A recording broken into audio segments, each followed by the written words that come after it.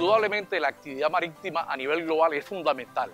De allí que la Universidad Autónoma del Caribe, en oferta de los programas de marítima y portuarios, entienda la importancia de la logística, no solamente aplicada a los puertos, sino también en el ámbito empresarial. Administración marítima y fluvial, un potencial para el desarrollo logístico en transporte marítimo y de las cuencas de los ríos. De tal manera que nuestros estudiantes demandan de espacios interactivos, visitas, salidas de campo, aulas especializadas y especialmente un equipo docente idóneo con experiencia suficiente para motivar y generar el nuevo egresado de los programas marítimos y portuarios.